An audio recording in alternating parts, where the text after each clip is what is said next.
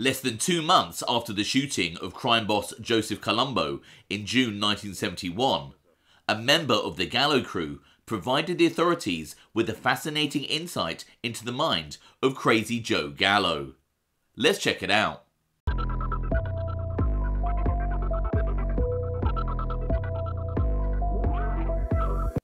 I'm James Gladwish, and welcome to OC Shortz, bringing you detailed historical snapshots of the American Mafia and other organised crime. Feel free to subscribe if you like that sort of thing. Today, we're going to take a quick look at the thoughts of Joe Gallo and the Gallo crew after the shooting of mob boss Joseph Colombo. Following the shooting of mafia boss Joe Colombo, the FBI gathered information on the state of the Colombo family as well as the rebellious Gallo crew.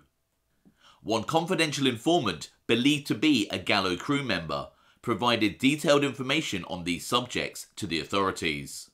The informant would talk about how many erroneously thought that Crazy Joe Gallo was behind the shooting of Joe Colombo. As one FBI file dated 10th of August 1971 states, the source said, in his opinion, even though it is evident many in the Colombo family are carrying guns, this does not mean a war is about to break out.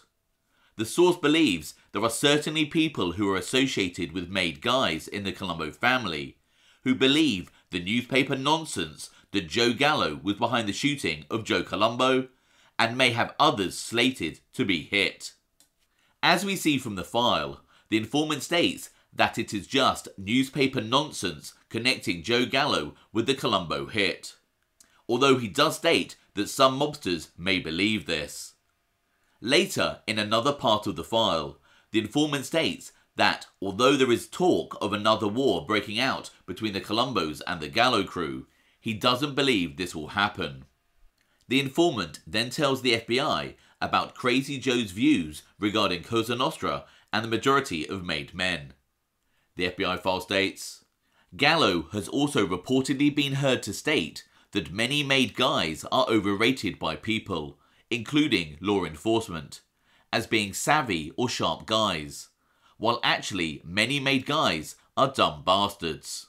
As we can see, according to the informant, Joe Gallo believes that many people give made guys too much credit for being savvy or sharp, including law enforcement. But in reality, most are not actually that bright at all. It could be said that Joe Gallo, who was a made man himself, but no longer considered himself part of the Colombo family, is just bad mouthing the Cosa Nostra life he was once in. But he may well have a point. The file continues. Gallo indicates that in The Thing, all that is really needed is a boss with brains. Then, if he is smart, he will surround himself with very tough, very loyal, very obedient members of his crew, and if they are at the same time a little short of brains, so much the better for the boss and his chances of survival. In this part of the file, the informant has relayed how Joe Gallo thinks a successful mafia boss operates, essentially stating that a smart boss surrounds himself with tough and loyal people, and if those around him aren't that bright, then it lessens the chance of them being a threat to his power. Later in the FBI file, the informant outlines Joe Gallo's views on mafia sit downs. The file states Joe Gallo has, according to the source, stated that neither he nor his brother Albert will attend any sit downs to discuss the future of the Colombo family or any other organised crime matters unless the sit down is held on President Street.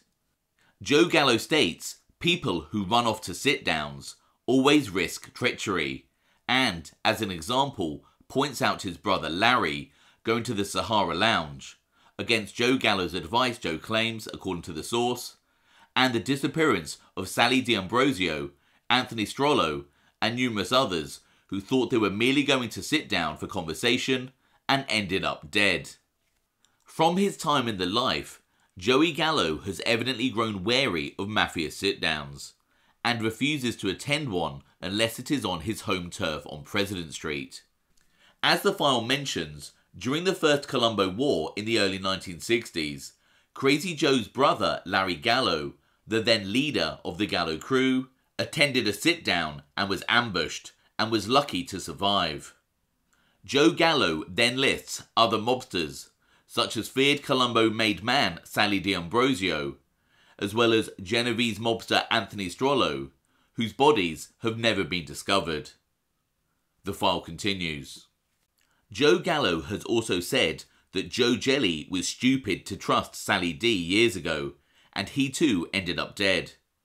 Gallo's reasoning appears to be if the meet or sit down is scheduled for anywhere except home turf, then you send one of your lesser guys just to hear the proposition on the theory the other side will not hit or kidnap a lesser guy, as this would tip their hand. The Joe Jelly that Gallo refers to was Joseph Joe Jelly Gioelli, a tough member of the Gallo crew, who was killed, allegedly, by Sally D'Ambrosio during the first Gallo Profaci conflict. Joe Jelly's death was the inspiration for the famous Sleeping with the Fishes line in The Godfather Part 1. According to the informant, Joe Gallo then states that if a sit down can't be avoided, then the lower level mobster should be sent, as there is less chance he would be killed, as he wouldn't be the intended target for a betrayal or ambush.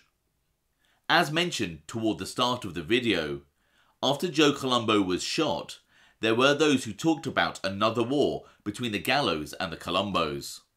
But the informant stated that the Gallo crew did not want this to happen. The FBI file reports The Gallo crew does not want a war and will do nothing to start one.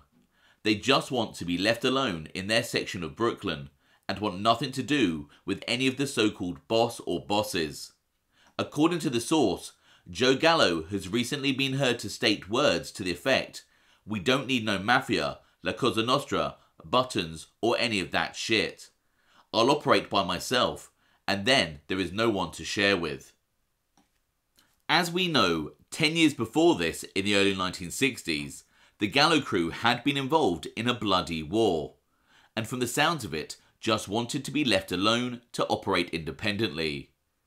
It also appears that Joey Gallo, who had just spent the best part of a decade in prison, had completely given up on the Cosa Nostra life, allegedly saying, We don't need no mafia, La Cosa Nostra, buttons, or any of that shit.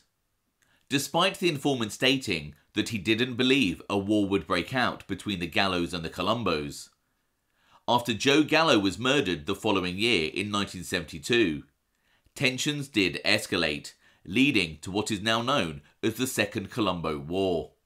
Interestingly, some speculate that the informant who provided this information was in fact Crazy Joe's brother, Albert Kid Blast Gallo. If this is in fact true, then he followed in his brother Larry's footsteps who also provided information to the FBI nearly a decade before. Let me know your thoughts on this video in the comments below. I hope you found some of that interesting. Thanks for watching.